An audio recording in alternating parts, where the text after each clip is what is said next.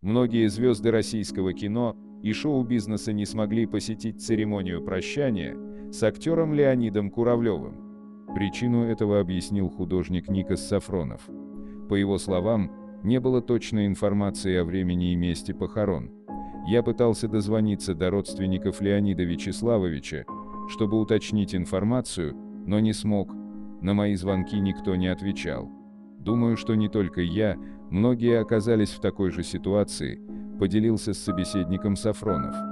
Ему очень жаль, что не получилось проститься с артистом. Художник пообещал, что зайдет в церковь и закажет по нему молебен, а также съездит на кладбище и посетит могилу. Сафронов также напомнил, что коллеги и друзья Куравлева в основном люди в возрасте, и им сейчас не рекомендуется посещать места массового скопления людей. Вероятно, считает художник, многие побоялись, что на похоронах будет толпа народа. Леонид Куравлев скончался 30 января.